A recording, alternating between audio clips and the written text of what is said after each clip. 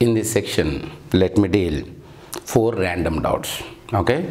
So like uh, let us see. Actually we got uh, at least some queries saying like you know sir uh, direct lightning stroke we know because directly lightning will happen on the transmission line. But like you know what is meant by indirect lightning stroke?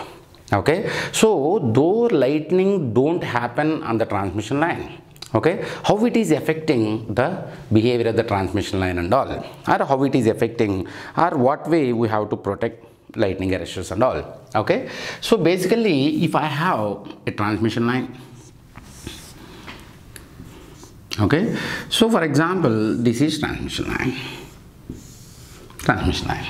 Okay? So it is not ground conductor and all. Don't consider like that. It's direct transmission line only. Okay? Now for example i have cloud collision here. Okay?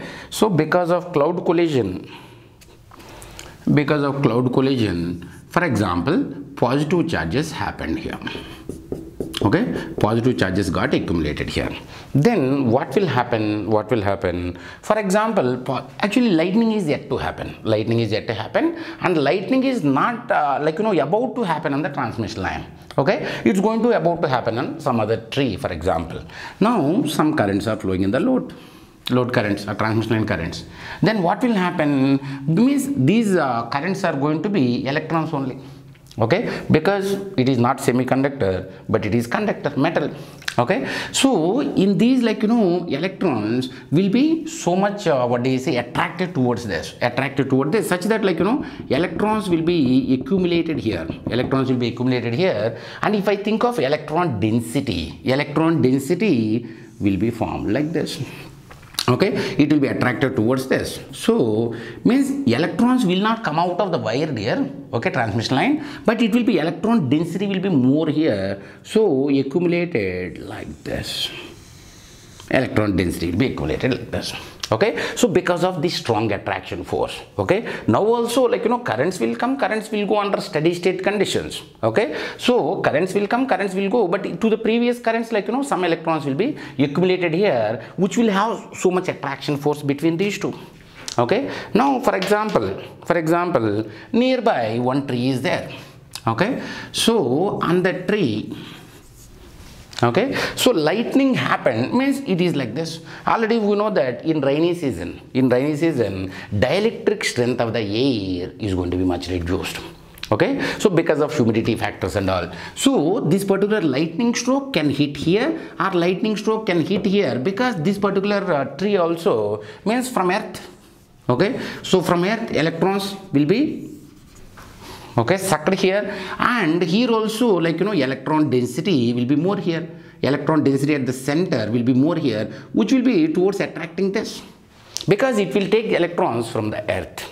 Okay? Now for example for this at least there are two probabilities. Like you know this particular particular lightning stroke can occur here or can occur here. For example it occurred here okay? So means in between this air dielectric breakdown happened dielectric breakdown instantaneous. Okay? So the moment like you know dielectric breakdown happened here immediately after that what will happen? Okay? So immediately after that what will happen? Previously if i see from transmission line point of view some force was there which was attracting my electrons. All of a sudden it's removed it's removed. So where is the force to keep these electrons here like this electron density? No. There is no other thing like that. So then immediately these electrons has to fall. Okay? So all these electrons will travel in this direction and in this direction like this.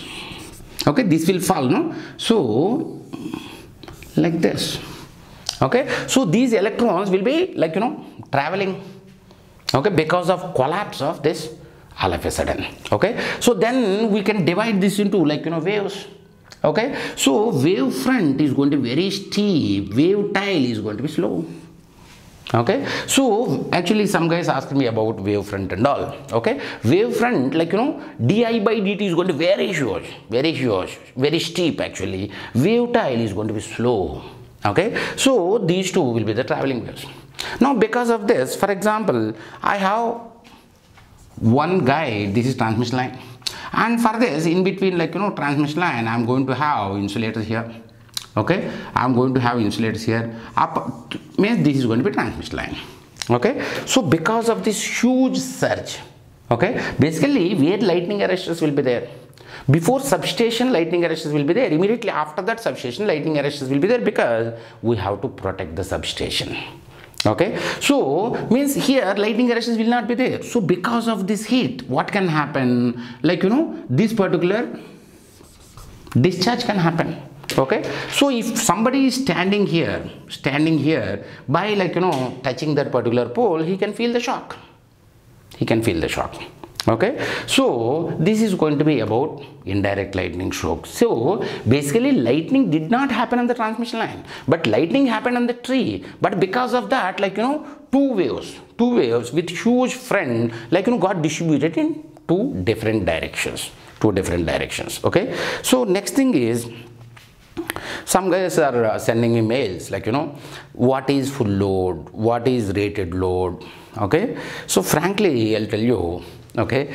Uh, there is no difference. Okay? So there is no difference at all between full load or rated load or rated capacity or like you know these are all synonymous. Okay? But maybe some guys may tell you okay like you know full load is for example if i have a machine capacity of 10 kva if i include maybe 20 percent of like you know safety factor safety factor then 12 kva will be the rated capacity 10 kva will be the full load capacity okay? So let us think logically dear we are entrepreneurs. Okay? So entrepreneur will never ever share the secret. For example for example you want to have 12 kva because like you know safety factor should not be set to the customer. Okay? Safety factor will be with the design engineer. Okay? So design engineer will never ever share the safety factor okay?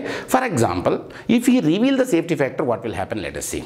Okay? Basically if i say a machine is 10 kva machine and as a designer if i share safety factor to the customer saying like 20% is the safety factor. Now what customer will say will do? Customer for example if his requirement is 12 kva he will buy 10 kva machine only okay? So if uh, for example if his requirement is 12 kva and if he buy 10 kva machine full load capacity then what is the purpose of having safety factor? Okay? So there is nothing like you know actually people try to confuse you scare you. Okay? Because if guys are scared or confused okay? So they feel like you know they can save their face or i don't know i don't know. But the thing is there is no difference between full load and rated capacity. Both are same. Both are same. Okay? Let us see remaining doubts in the later session